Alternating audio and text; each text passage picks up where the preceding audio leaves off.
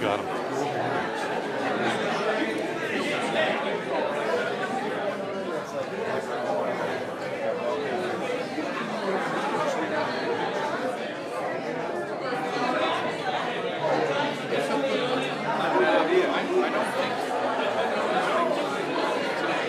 Right. Weekly events are all the same. Okay. Membership class sign up, that starts next week, next, next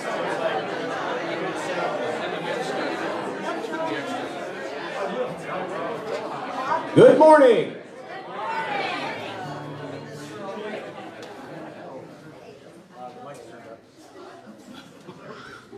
Uh, Some announcements this morning. Our weekly events are on this week, per the norm. Um, We're going to have our annual meeting right after the worship service. When I say right after, right after a couple cups of coffee, right after the service, we'll have our annual meeting. So there will be some time to visit and just spend some time together, and then we'll pull together, set up some tables, and begin that meeting. If you're a member of Pacific Coast Bible Church, I want to just encourage you, if you would, stick around for that meeting. If you're not a member of Pacific Coast Bible Church, just get out as fast as you can.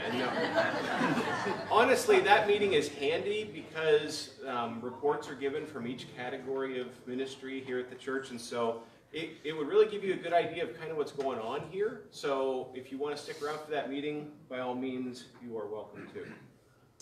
Um, speaking of that, again, on the back wall, as I've shared for the numerous weeks, the uh, church officer nominees and the proposed budget are back there. Um, our new membership class is going to be next week and the week after, potentially three weeks, depending on how it speedily it goes. So that's going to be next Sunday during the Sunday school hour at the Bible Shack. So if you signed up for the new membership class during the Sunday school time at the Bible Shack, and that sign up is going to be down here if you haven't had the opportunity to sign up, you want to, or cross your name off of there. You, your pick.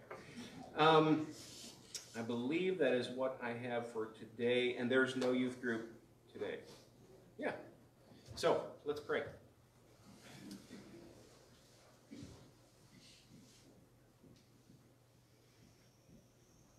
Lord, nowhere in your word can we find a reference that says you poured your love on us because you saw something good and worthy in us. In fact, your word with great clarity tells us there was nothing good in us and we were utterly unworthy. And yet, Father, we're going to sing songs and pray and read your word and spend time together, all under the incredible umbrella of your eternal love that you have decided in and of yourself to pour on us. Father, I, I plead with you that that would flavor who we are, what we do, how we lead our lives, as we consider the incredible act of mercy and grace that's been poured out on us, Lord. And that our response, Father, would be that of joy, wonder, gratitude in the splendor of our salvation. And so, Lord, as we begin this service this morning, I pray you would remind each and every one of us this is not a time for the people up here to perform for the people seated. No, Lord, we're here because we want to worship you. This is a worship service where we want to bring honor and glory, Father God, to your name. We want to please you. Your opinion matters the most. And so, dear God, I, I just thank you that you are progressively getting that through our thick skulls, that we are not here for us.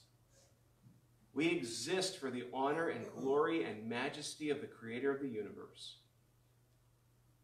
And dear God, I just want to express my heartfelt gratitude to you that I'm your son. And that by grace I've been enabled to give glory to you in my life.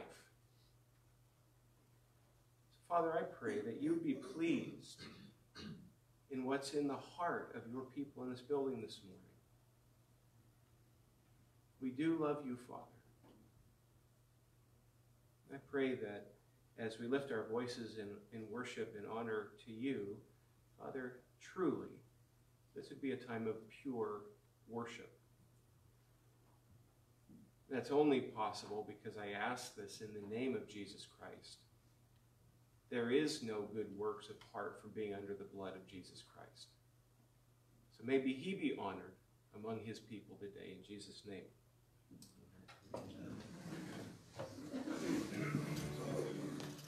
Would you please stand and join with me in singing There is a Redeemer?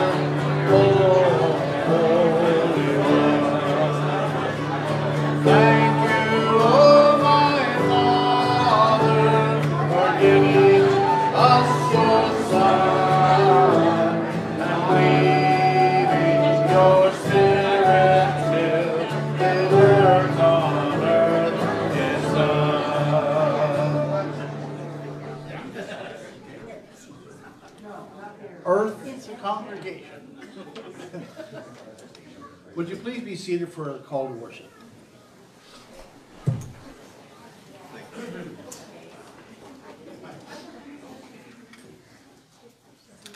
sounds pretty serious. Making everybody sit down and such. Well, good morning to you all. This is our time for call to worship, which is interesting because we've been in worship mode since you woke up, hopefully. Uh, just looking out the window, just looking at your loved ones. Um, you know, we, we can worship God in, in so many ways and, and for even what we would call small things. But uh, they're not small things. This morning I'm to just, just these last few weeks, just the, the power of God. Um, just, just think of all the, the miracles throughout the Bible. Old Testament, New Testament. Um, goodness, just, just, just let that, let that distract you for a bit this morning. You know, that's, that's gonna be okay. Don't be distracted when, when Dan's up here, but you can be distracted when I'm up here. And just, just let God, you know, distract you with the, the powerful things he has done. You know, I could say just recorded in scripture, um, but from time then till now, you know, they, they just continue. Um, yeah, just, just go ahead and, and let that happen. so just think of these, these miracles throughout time when God demonstrates his power over his creation. And I want to say it again, when, when God demonstrates his power over his creation. Just, just, you know, this power really beyond our ability as created beings, beyond our ability to imagine. You know, omnipotent. What, what a word. I mean, all powerful. Power beyond measure. Um, we do just, just remember that He is God and we are not. Um, he is not under any authority but His own. The power of God. He is God. He answers to no one. the power of God. Creation week, uh, as we have uh, in Genesis 1, absolutely full of miracles. I mean, every day. These were miracles. These were not things that, that went through uh, processes. These were not things that follow what we would call natural law. God operates outside of that. These were absolute miracles every day. Creating everything out of nothing can only be called a miracle. Everything out of nothing.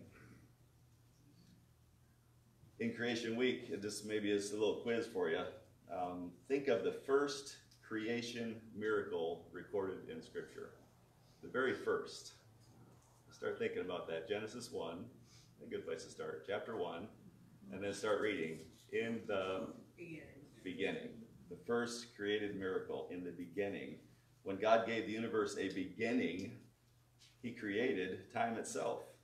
Look, the clock started ticking. That's the starting point for our, our known universe. Eternity past, we can't measure that because time didn't exist. Time and space were created by Him to govern His creation. He has no need of time or space. He's not bound by time or space. The absolute miracle of creation is proof of this. In the beginning, God created. So, with all of this, He alone is worthy of our worship. He alone is worthy of our praise. He alone is worthy of our adoration.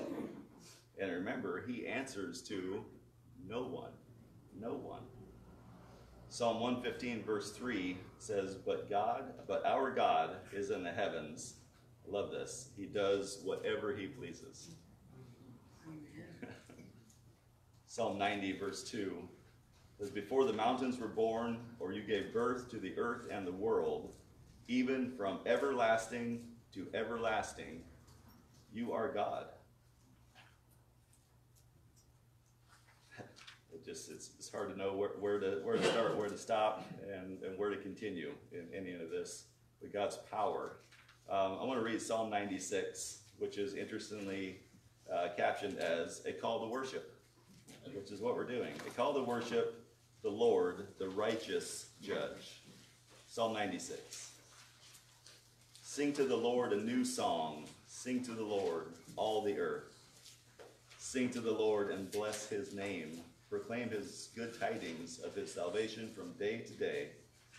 Tell of his glory among the nations, his wonderful deeds among all the peoples. For great is the Lord and greatly to be praised. He is to be feared above all gods, for all the gods of the peoples are idols. But the Lord made the heavens. Splendor and majesty are before him. Strength and beauty are in his sanctuary. Ascribe to the Lord, O families of the peoples. Ascribe to the Lord glory and strength. Ascribe to the Lord the glory of his name. Bring an offering and come unto his courts. Worship the Lord in holy attire. Tremble before him, all the earth. Say among the nations, the Lord reigns. Indeed, the world is firmly established, and it will not be moved. He will judge the peoples with equity. Let the heavens be glad, and let the earth rejoice. Let the sea roar, and all it contains. Let the field exult, and all that is in it. Then all the trees of the forest will sing for joy before the Lord, for he is coming. For he is coming to judge the earth. He will judge the world in righteousness, and his peoples in his faithfulness he will judge. So let us continue our worship of our great and mighty sovereign King of the universe. And allow yourself in everything that you see and every opportunity you can get to be in absolute awe of who God is. Let's pray together.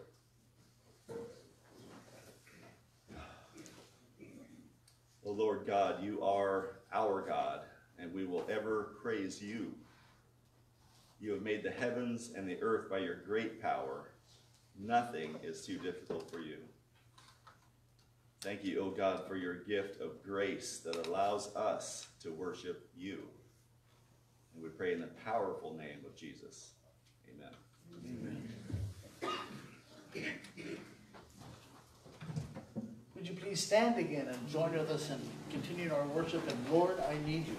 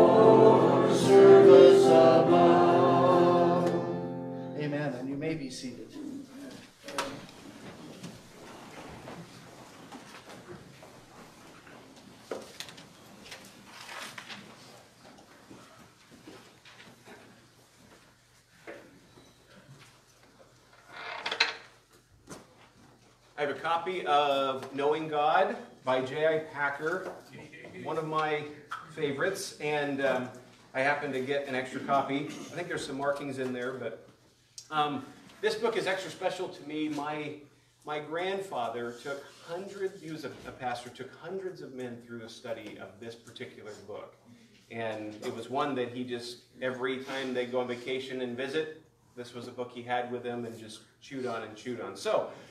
The person here who last watched a John Wayne movie gets the book. Ladies? Any? Who watched a John Wayne movie last? Mitch? Serious? Like when? Katharine Hepburn was in it. Like Thursday? Thursday. Somebody better be able to beat Thursday. Come on. Good work, Elder. Man. I love man, I'm proud of him. Good work, pal.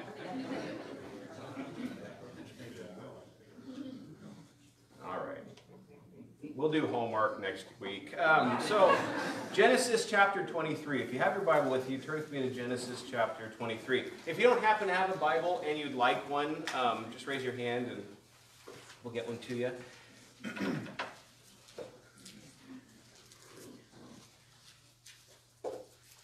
Genesis 23.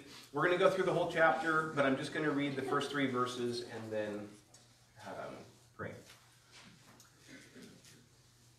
Sarah lived 127 years. These were the years of the life of Sarah, and Sarah died at Kiriath Arba, that is Hebron, in the land of Canaan. And Abraham went in to mourn for Sarah and to weep for her. And Abraham rose up from before his dead and said to the Hittites, I am a sojourner and a foreigner among you. Give me property among you for a burying place, that I may bury my dead out of my sight. Father, I pray that your blessing would be on this time of study. Um, I pray, Father God, that you would help me to stay out of the way of your doing here. And uh, as your spirit takes your word and sows it into the heart of your people, I ask God that, that I would be conduit that does not stop that process, but can be used uh, by you for your glory and, and Father, for the encouragement of your, of your church. It is a blessed privilege that I am unworthy of and inadequate to do. So I, I just plead with you, Father, that you would use me and that I would not be a distraction or get in the way. In Jesus' name, amen. so I was roughly 17 or 18 when I started to sense, whatever that means, a calling to become a pastor, where I, I wanted to do it. There was something in my heart that was growing, and um, my pastor was one of the pivotal uh, people in my life that I looked up to, thought very highly of, and my youth pastor had a huge impact as well. And so I started talking with people and visiting with people. And there was a lot of warning. There was a lot of preparation, a lot of concern in some, because you're only 18 years old, so on and so forth, uh, which was all good and true and right. But I did it anyways, because I, I truly believed I was supposed to. Um, went to Bible school, went through all those different pieces to the puzzle that needed to be done. There was a category that I did not have a clue would be such a large category of this life. I didn't know that this would be such an important piece. I didn't know that I would see so much of it. And I have been very surprised in the last 16 years how much death the Lord has allowed into my life and put me in, in the path of that. Um, you know, you guys know I'm a chaplain of the sheriff's office. I, I, that wasn't on the radar when I wanted to become a pastor. Had no idea that that was going to be a thing. And I didn't know how often, you know, everybody said, well, you, are you ready to marry and bury and those kinds of little cliche things. And yeah, I guess, sure. I, I want to go serve. That's what I want to go do. But I, I didn't have a clue about the weight of how much I would see and how painful it would be to watch to watch others in pain and, and, and feel, you know, you stay in a congregation for a while, you, you grow to love them, they become family, and then you watch them endure pain. Well, you, you, you aren't unfeeling. You can't not feel what they're feeling, and so that pain hits you. So I've embraced the concept that God has called me to be somebody who's involved and in the lives of people who are in the midst of death. I don't, um, uh, I'm not upset about that. I, I'm not angry at the Lord that that's part of my calling. I, I embrace it, that that's what the Lord wants me to do. But since I've embraced it, I got to tell you, it is quite interesting to me how much our culture tries to hide the fact that everybody in this room, apart from the Lord's return, will die. And we have beauty creams and all kinds of things in this world to make sure we still look and feel young. Well, newsflash. We're all getting older. Everybody in this room is getting older. Everybody in this room is on your way to death. What an encouragement, Dan. but I will say, hear me out. Hear me out in this one. By the end of this message, perhaps that statement that we're all closer to death is not discouraging. It's just, hear me out. So we're hearing this passage, and we have been hearing for weeks, for months and months and months about Abraham and his wife Sarah and all the promises God's made them and the promise of a child and the fulfillment of that promise, their growth in godliness, the sweetness of their relationship with the Lord, um, some mistakes they've made, the bumpy path, all of this stuff. And now it's the end of at least the earthly story for this woman. If you look back at uh, verse 20 of 22, we get a little bit about the relatives of Abraham. It's interesting, we get more of a family category about this man, more than we have throughout this, because now we're going to be told about his relatives, his wife's death, and then we get to 24, we're going to a wedding for his son. If you look at verse 20, I'm not going to do an exposition of 20 through 24. It's just kind of an explanation of what's taking place with relatives of Abraham. It says, Now after these things, I was told, uh, I was told to, it was told to Abraham, Behold, Micah, Milcah also, you know what? Let me put on my glasses. We're all getting older. Behold, Milcah also has borne children to your brother Nahor. Uz, his firstborn, Buz, his brother, Kemuel, the father of Aram, Chesed, Hazo, Pildash, Jidlaph, and Bethuel. Bethuel fathered Rebekah. These eight Milcah bore to Nahor, Abraham's brother.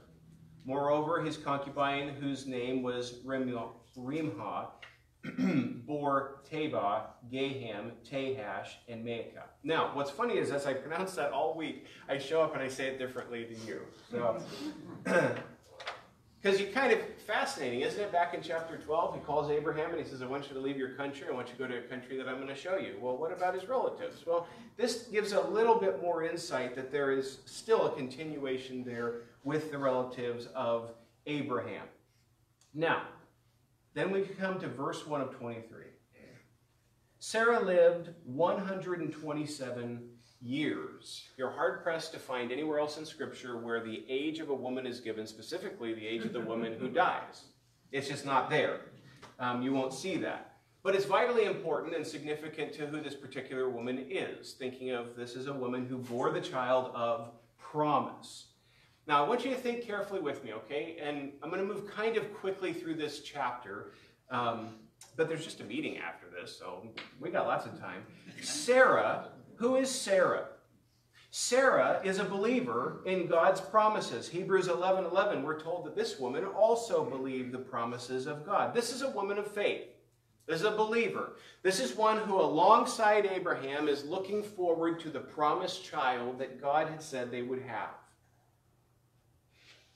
She's an example to the ages. Go with me to 1 Peter chapter 3. I only have a few extra texts in this sermon, um, but they're, they're important here and they, they really paint a better picture. 1 Peter chapter 3, verse 5. And what I'm drawing to your attention here, if I can find it, is that Sarah is given as exemplary. Sarah is given as an example. I'll pick it up at verse 4. Speaking to the women, it says, But let your adorning be the hidden person of the heart, with the imperishable beauty of a gentle and quiet spirit, which in God's sight is very precious. For this is how the holy women, notice that, that definition, that term, this holy women who hoped in God used to adorn themselves by submitting to their own husbands. Well, what exhibit from the Old Testament does he go to under the inspiration of the Spirit as Sarah obeyed Abraham, calling him Lord? And you are her children, meaning you walk in the same path as Sarah, if you do good and do not fear anything that is frightening. And so, all the way with the Apostle Peter, as he's writing under the inspiration of the Spirit, who could I give as an as exemplary, as an example of what a godly woman should be? Sarah is the one who's given. She was a beloved longtime mate to Abraham, year after year after year after year. Some of those years harder than others. Some of those years perhaps irritating and frustrating than others because of the waiting for Isaac. I'm waiting for the promise of the Lord. Well, Abraham's not waiting alone. He's waiting in the presence of this woman who has now died. She's also the mother of the promised child. And she's also the mother who will give birth to Isaac and eventually will go all the way down the line to the Lord Jesus Christ. This is a pivotal character in redemptive history. Not just a pivotal character in your Bible, yes, but a pivotal character in the salvation you have. Sarah is a, is a uh, blip on the screen of God's plan of redemption, ultimately resulting in Christ's death. She's a very, very important figure. Sarah, like Abraham, had been growing in her faith through all these years of joys and trials. As you think about everything that has been encountered with Abraham and Sarah, and now at 127 years, the Lord says, You're done. I'm taking it now. I'm taking you now. This earth is no longer your home.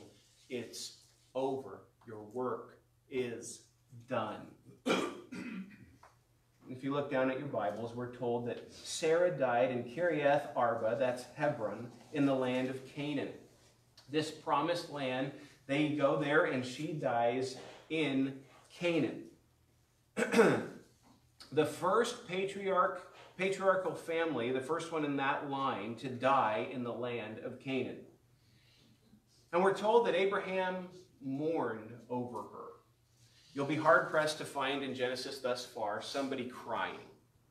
If you search the old, if you search the book of Genesis up through chapter 23, you'll, you'll be very hard pressed to find it where it's described somebody's tears, even especially the tears of a man. Yet the scripture tells us very plainly, very clearly right here, at the loss of this woman, he went and mourned.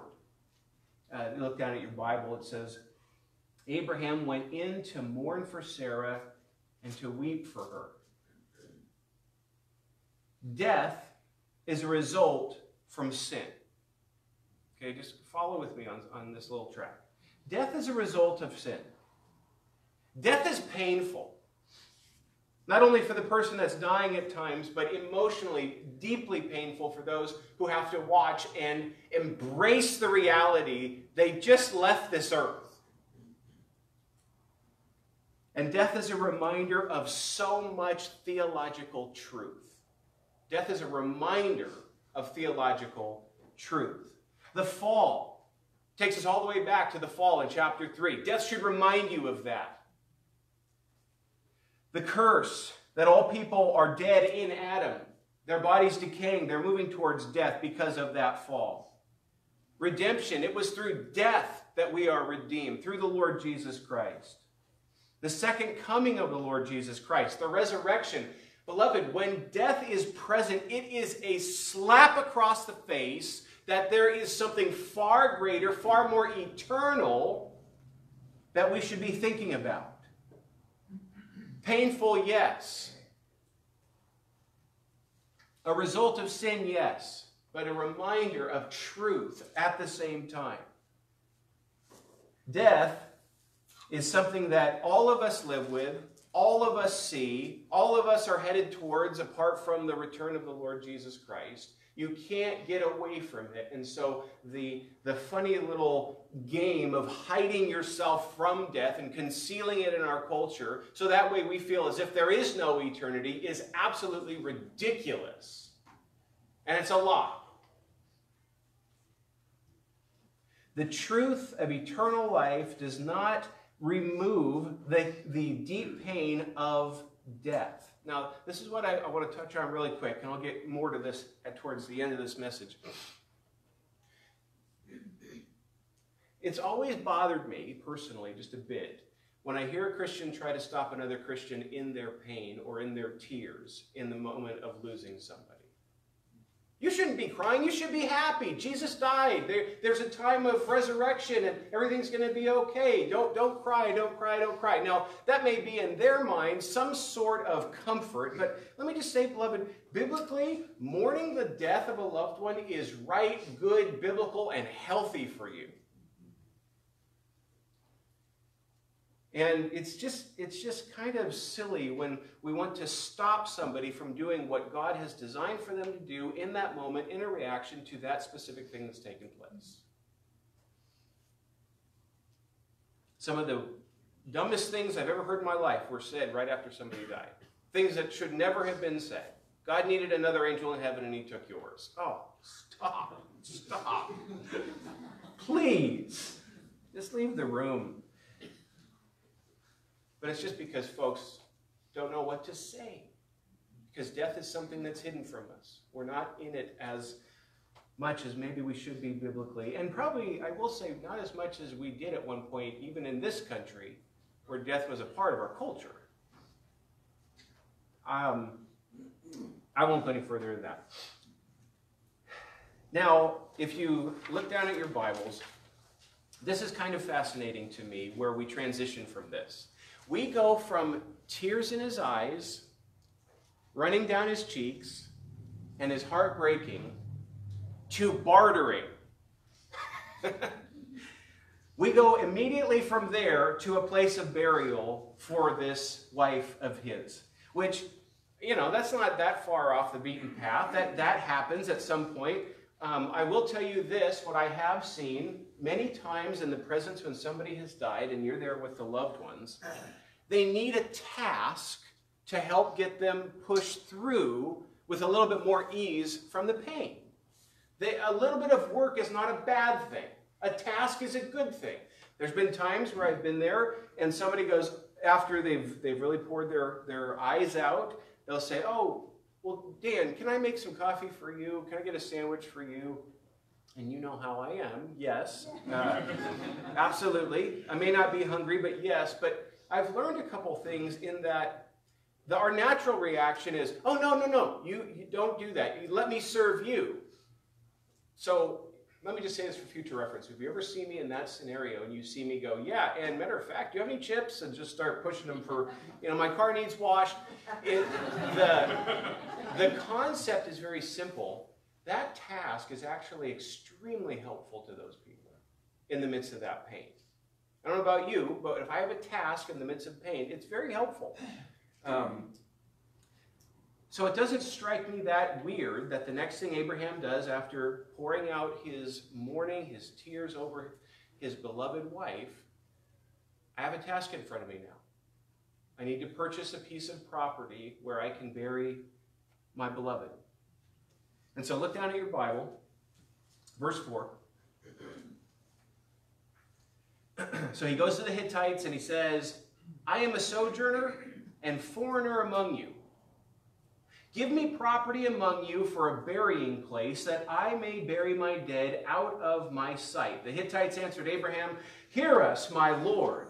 You are a prince of God among us. Bury your dead in the choicest of our tombs. None of us will withhold from you his tomb to hinder you from burying your dead. Abraham rose and bowed to the Hittites, the people of the land. And he said to them, If you are willing that I should bury my dead out of my sight, hear me, and entreat for me Ephron the son of Zohar, that he may give me the cave of Machpelah, which he owns. It is at the end of his field. For the full price, let him give it to me in your presence as property for a burying place. Now, commentaries differ here a little bit.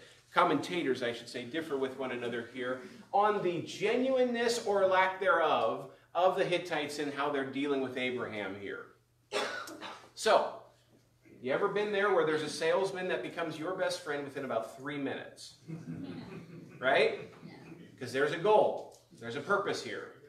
Um, you know, are they going to invite you to their birthday? Probably not, but they might make a sale. So, as you visit with them, they become your friends. That's what uh, some folks see the Hittites' actions here, and I think there's some points that make some sense about that.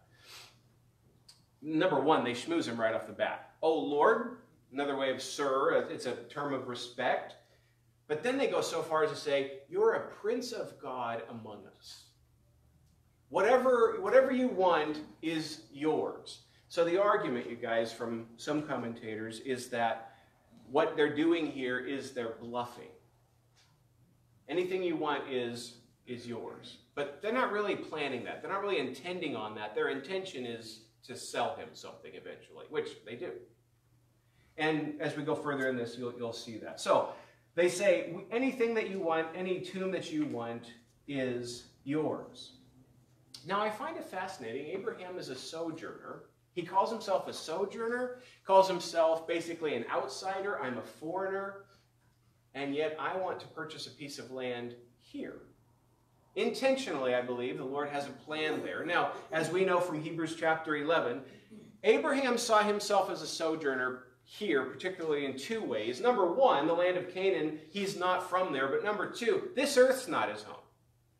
He's looking for a, a, a, a tent not made by hands. He's looking for an eternal resting place. And so I'm curious, and I don't know from the text whether Abraham means foreigner, as in I'm a foreigner to you, or I'm a foreigner to this world. But both are true. And so Abraham's request is, I need a place, I want a place on this land, this promised land God has brought me to, to bury my wife. And then he's apparently scoped out a spot already. Because he, and he knows who owns it. This guy's done a little bit of homework. Um, they say, we'll give you any tomb. Really? Well, I've got a tomb in mind, which is what you do, by the way, sidebar. If you're going to go buy a car, go knowing what you want and how much it should cost, right? And then when you show up, you, you go too, because they're going to show you a bunch of different cars. Abraham says, there's a field over here, there's a particular cave over here, and I wish to buy that one from Ephron, one of the Hittites. now, look down at, at your Bible. I ended at verse 9. Verse 10. Now Ephron was sitting among the Hittites. And Ephron the Hittite answered Abraham in the hearing of the Hittites. Very important. There's witnesses to this that's taking place. They're hearing all that's being done of all who went in at the gate of this city. So, or his city. There's a large gathering here. Folks are in the presence. They're hearing what's happening. No, my Lord, hear me. I give you the field, and I give you the cave that is in it. In the sight of the sons of my people, I give it to you. Bury your dead. The next move on Abraham's part is very telling about this man's character. Then Abraham bowed down before the people of the land. They said to Ephron in the hearing of the people of the land, But if you will, hear me, I give the price of the field. Accept it from me, that I may bury my dead there. I find that interesting about this man because what I've sought to do in, the, in this brief series, um, going through specifically this portion of Abraham's life, is guys, the more I've studied it, the more I've looked at it, the more the text shows Abraham is growing in godliness. He's growing in faith. The illustration I've given week after week after week is the lens is getting bigger for this man. This man is seeing God more and more and more. He's maturing. He's growing in his godliness. He's growing in his understanding of his God. And isn't it interesting that as this guy has gone through turmoil, difficulty, but also seen the promises fulfilled, saw the birth of Isaac, he's held Isaac, he's seen this, and then called to sacrifice, and he doesn't sacrifice, and God provides. He's learned of his God. He knows his God. And so here we are, all these people are saying, just take the land, just take the land. And he finds himself bowing in utter, maybe a small word or lack of a better word, courtesy to these men. And in humility before God and in humility before man, he says, If you will, I want to pay for it and own this land before all these people. I don't know about you, but the more I study this man, Abraham, is a different guy in 23 than was in 12. And why would we be surprised by that? You should be different than you were when you got born again. God's at work in him. God's changed him. God's grown him. So down at 14, Ephron answered Abraham, My Lord, listen to me.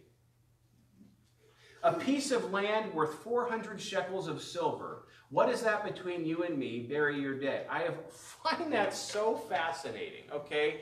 It's, picture this. Picture that I, I decide to give Dennis Chris a brand new guitar, okay? And I, I go and I buy him uh, He's already got a Martin, so it's going to have to be a Taylor. I buy him a new Taylor guitar, and I present that to Dennis. And Dennis goes, Dan, this is over the top. How could you give me this Taylor guitar? And I say, Dennis, what's a $1,495 guitar between friends? I just find it very interesting in the text that Ephron says, What is the, and then just gives the exact price between us. So, this is why the commentators are differing with one another. That either A, he's totally genuine and he's just dumb, or B, he is dropping a hint because he really does intend to make a, make a profit off of Abraham. You be the judge. I don't know, and I don't really care because the text is not about Ephron's character, it's about Abraham's character, in my opinion. And most commentators agreed in my study that um, that, was, that price was rather large for the piece of land that he's trying to sell here. So this is the point where Abraham goes, What are you kidding me? And then makes a counteroffer, right? That's what you do next. He makes an offer, it's too big. Abraham comes back with a different offer, and then all of a sudden we're in this back and forth business. Rather, Abraham, in interesting humility, politeness, and gentleness, Abraham listened to Ephron. Abraham weighed out for Ephron the silver that he had named in the hearing of the Hittites. Please notice the language here. He named it in the hearing of the Hittites and in the hearing of Abraham. Everybody there knows what he wants price wise 400 shekels of silver, according to the weights current among the merchants. So the field of Ephron in Machpelah, which was to the east of Mamre, the field with the cave that was in it and all the trees that were in the field throughout its whole area was made over to Abraham as a possession in the presence of the Hittites before all who went in at the gate of his city. After this, Abraham buried Sarah his wife in the cave of the field of Machpelah, east of Mamre, that is Hebron, in the land of Canaan. Remember, beloved, God doesn't waste ink there's a reason it keeps repetitive, repet, repeatedly saying this over and over and over. It's designating this spot on purpose. The field and the cave that is in it were made over to Abraham as property for a burying place by the Hittites. Sarah is buried in this location. Turn to Genesis 25. Genesis chapter 25, verse 9. And I'm, we're going to be looking at a, a handful of verses here in the book of Genesis. Genesis 25, verse 9. Isaac and Ishmael, his sons, buried him in the cave of Machpelah, in the field of Ephron, the son of Zohar, the Hittite, east of Mamre, the field that Abraham purchased from the Hittites. There, Abraham was buried with Sarah, his wife. Genesis 35. Genesis chapter 35, verse 27. 35, 27.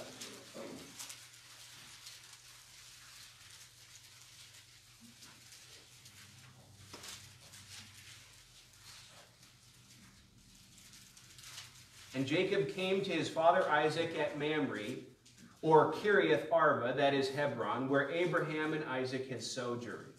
Now the days of Isaac were 180 years, and Isaac breathed his last, and he died, and was gathered to his people, old and full of days, and his sons Esau and Jacob buried him. Again, the same location.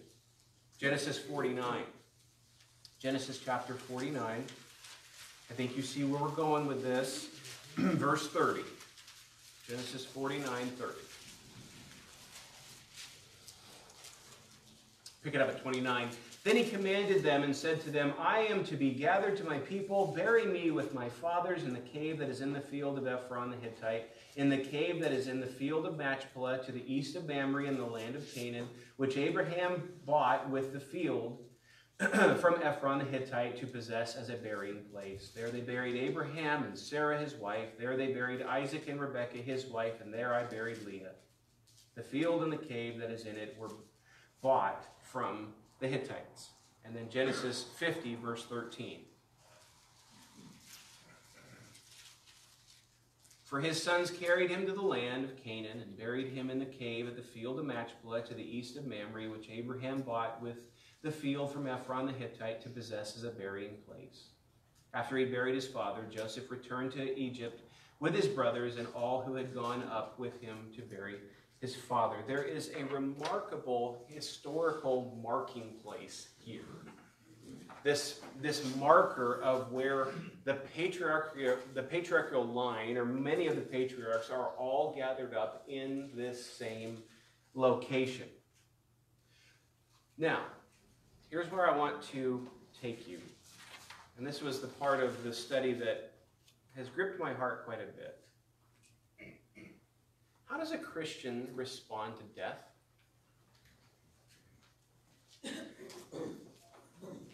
How do you respond? How, how, how should we respond to death? Not necessarily our death per se, but that's a part of it. But in general, the reality that every last person in this building, apart from the Lord's return, will die. But before that, we will mourn the death of others, most likely. How does what is a Christian's attitude towards death? What is interesting to me is throughout this passage in Genesis chapter 23 and the death of Sarah, I believe Abraham is a beautiful example of a, of a believer's response to death. Here's some things that I see in Abraham exemplified a deep love that, he, that does not get altered for this woman. I think it's clear from the text he absolutely loved her and was committed to her. But the second is an absolute trust in God. The Lord's taken her. We don't just see this from Abraham, we see this throughout Scripture. A, a believer, uh, when the Lord takes somebody, they, they are, are hurt and wounded and sad and, and hit by that, but they still recognize it is God who's decided this. The Scripture says you cannot add a day to your span of life. The Lord is the one who's measured our time. The Lord's the one who's measured our days. He's the one who's in charge of that. So in a sense, in your anger at death, perhaps, he's the one you should be talking to. Because there's still, God's sovereignty doesn't go up to death and then stop. It's in the midst of that as well. And I could argue that from so many pages of the Word. I'm not going to. I just show you over and over, specifically in the Psalms in reference to the Lord's sovereignty in the taking of his people. Then we're actually told in Psalm 116 that it's blessed in the eyes of the Lord when the saints die. But I also saw in Abraham not an anger, not a, not a, a rage type thing. I've seen that before with folks. But a humility a calmness and a gentleness in dealing with other people and dealing with, this, with the reality that his wife had died. But above all that, what's the capstone on that, what I think alters everything for you and for me in reference to the death of somebody, is living life with an eternal perspective. Living life actually thinking about eternity, not just this life. Now, beloved, please don't misunderstand me on this, okay? I, am not being cold and heartless saying, therefore, we shouldn't mourn. It's all over the scripture to mourn. This is an enemy. Death is a result of sin, and we should mourn the loss of somebody. We should mourn that death. But in the midst of that, there is um, a, a term that I picked up from Dennis over the years. There's a quiet confidence where you're not angry, you're not rageful, you're not running around like a chicken with its head cut off. What you're doing is you find such a stability and calming in God in the midst of that moment. Now, real quick, does that remove all the yeah buts? And does that remove all of the God whys? No, I know that. You know that. You've been in the midst of difficulty. We all know that in the midst of that, we still go, but I don't know why he did it. No, but do you trust him? Do you trust him with your why? It's one of the most important, fundamental, pivotal reasons we gather here, in my opinion, beloved, is that we're gathering here to have that trust. So even though God says, No, I'm not giving you the why we can somehow find a sense of confidence in the one who's in charge. So I can say, Lord, it's okay if I don't know the why. I'm all right. If I can't see around the corner, it's still okay because I know I can trust you. I'm not a guy that closes his eyes too well when somebody else is driving. I don't trust them. Now, I say that, and you should also know that I sleep like a baby when my wife drives because she's a better driver than I am. Surprise, surprise. Yeah, like you didn't know that. I don't trust easily. I never have. But, beloved, the more I see in the Word, the God of the Word, the God of history, the God of sovereignty, the God of absolute precision, I believe that by His grace, I'm growing to say, it's all right if I don't know. Because He knows. And I know the one who does know. So I can relax in Him. Not relax in my knowledge of what's coming up, but knowledge of the one who's in charge of what's coming up.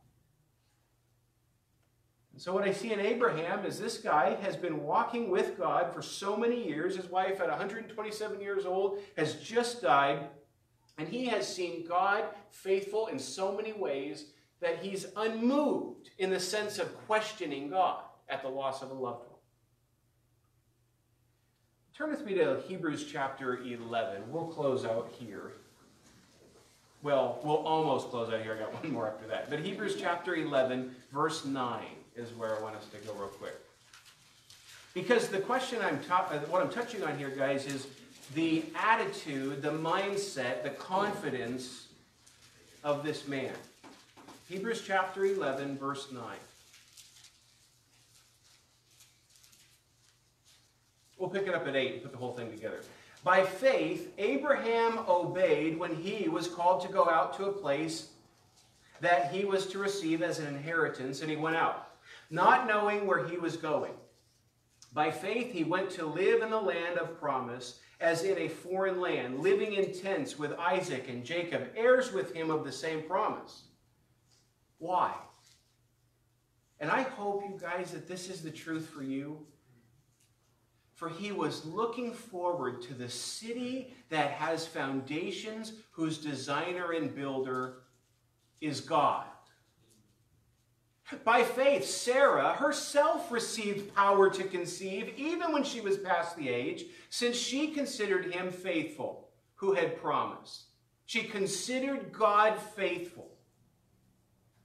Therefore, from one man, and him as good as dead, were born descendants as many as the stars of heaven and as many as the innumerable grains of sand by the seashore.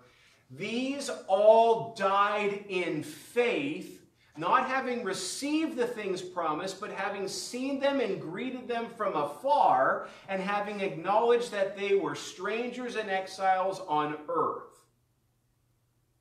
For people who speak thus make it clear that they are seeking a homeland. If they'd been thinking of that land from which they had gone out, they would have had opportunity to return. But as it is, they desire a better country. I love that language. That is, a heavenly one. Therefore, God's not ashamed to be called their God, for he's prepared for them a city. I am convinced the, the deeper rooted we are in the truth of our eternal resting place, the more death does not have that grip that it has on our world right now. Mourn, yes. Um, impacted? Yes. Fearful of the future? Becoming less and less. So, I already said it, but last passage, 1 Thessalonians chapter 4. Should be very familiar to you. 1 Thessalonians chapter 4.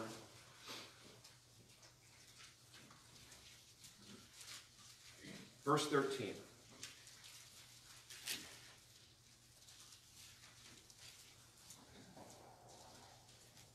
But we do not want you to be uninformed, brothers, about those who are asleep. This is in reference to the dead. That you may not grieve as others do who have no hope. For since we believe that Jesus died and rose again, even so, through Jesus, God will bring with him those who have fallen asleep.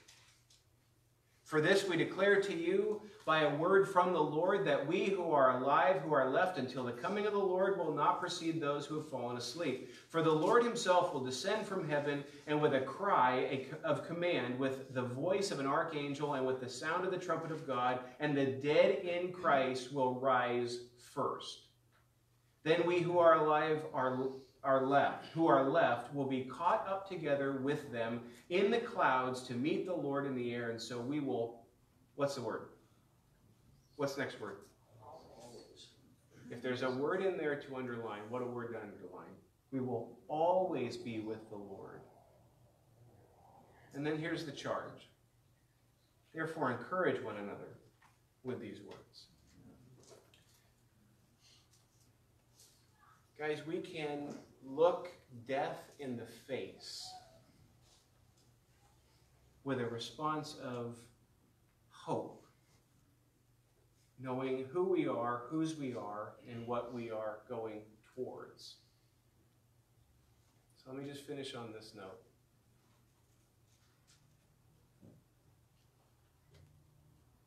One of the hardest places to be is in the presence of death of somebody who has rejected the Lord Jesus.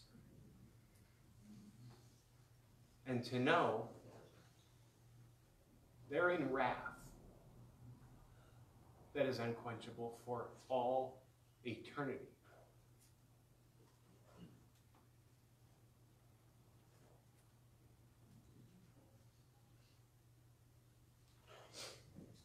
It makes all the difference in the world to look in the face of somebody crying and they make the statement, I know where they are. And I'll know, I know I'll be with them in the presence of Christ forever.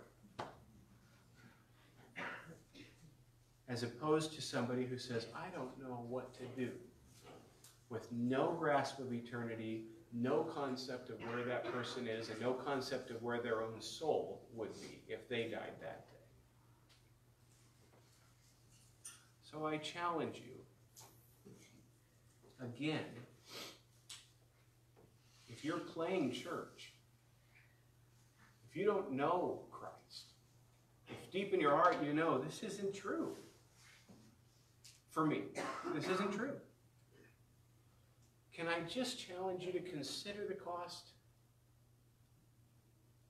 Just, consider the reality of your own soul and when the Lord does decide to take your life, that you'd be in His presence.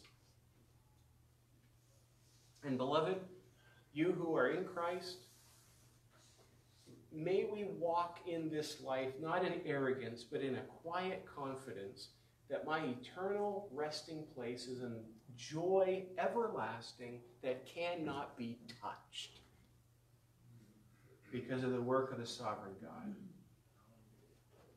That's how the church responds to death. That's how they respond to this thing that the world is fleeing from as much as it can.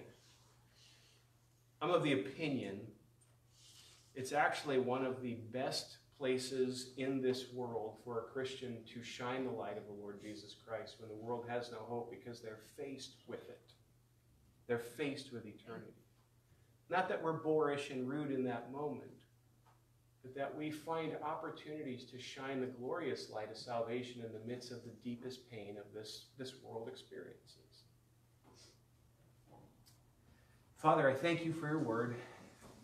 I thank you for PCBC and, Father, the immense amount of examples that I have seen in the years of being here. Lord, watching Christians face their own mortality or the mortality of their spouse, the mortality of their children, the mortality of their parents, and responded with mourning, responded with tears, but Lord, simultaneously responding in hope. The one glorious hope that is only available through you. And I just, I thank you, Father, for how my life has been shaped by watching your people respond to difficulty. And I pray, Father God, that you would deeply root this church, these Christians in this gathering here. You deeply root us in the truth of your word, that, dear God, an eternal perspective would flavor everything we come in contact. And as we push it through that grid, Father, we find ourselves profoundly stabilized because we trust the one in charge of the future, even though we don't know what the future is. So, Lord, I pray you give some extra strength. You would boost the faith of this body. For, Lord, who knows? Who knows apart from you? Who knows what 2022's got in front of us? So, Father, may we not waste time, but now's the time. Now's the time to know our God in a deeper, more profound way than we have ever before. So pray for your blessing on this body, Lord God. The blessing of your presence. In Jesus' name, amen. Thank you, Dan. Would you please rise and join with us in singing Holy, Holy, Holy our Savior and Lord.